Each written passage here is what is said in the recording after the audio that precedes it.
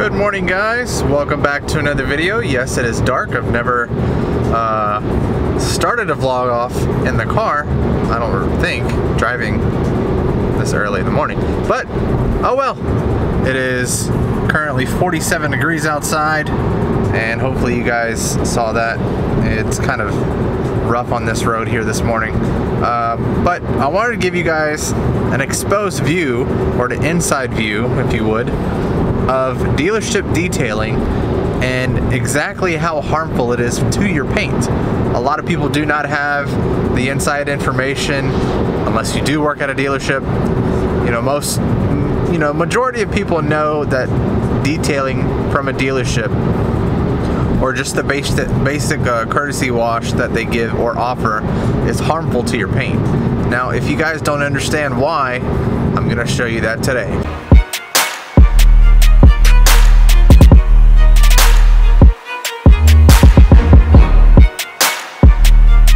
Okay, so quick disclaimer here. If anybody watches this video and you work at a dealership or you know somebody who does work for a dealership, this is just a parody video. So this actually does not um, happen to an everyday vehicle. This is just for fun. Um, if anybody is seen in this video any company names, make sure to let them know it's just a parody. I'm not bashing anybody, I'm not bashing the companies, I'm not bashing anybody doing the jobs. Just here to shed some light on the subject. Make it funny.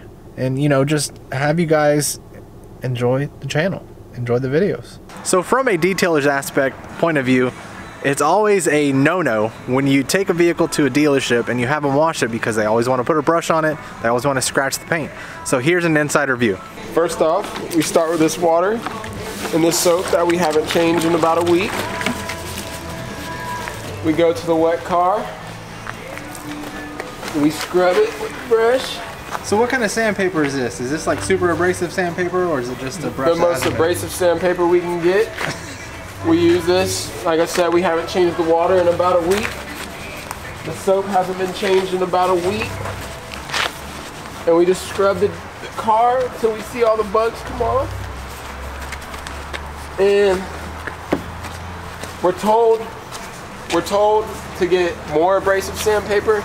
However, this is the most abrasive that we can get. We try to scratch the paint as much as possible with the brush. We go back in. We're showing them. It's a parody video.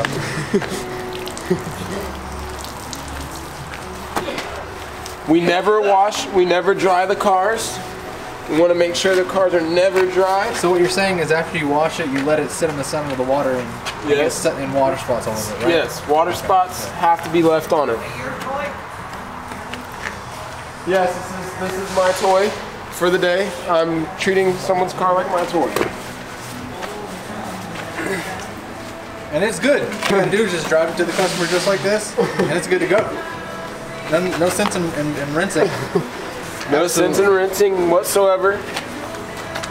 Matter of fact, I forgot. Actually, you know what you gotta do? You gotta go in circles. Oh. You forgot to go in circles. You know that? Okay, I'm sorry about yeah, that. You gotta go in circles. Okay, I'm sorry. sorry about that. My bad. I'll make sure, you know, make sure that when the customer gets the car, they can't see, they can't recognize the vehicle that they're that they're driving. Just make sure that you want to at least see five scratches on a car after you're done with it. If you do 10, you're amazing. you're well, we're going to let this guy get back to finishing this vehicle. Get it all done up correctly the way you should do it.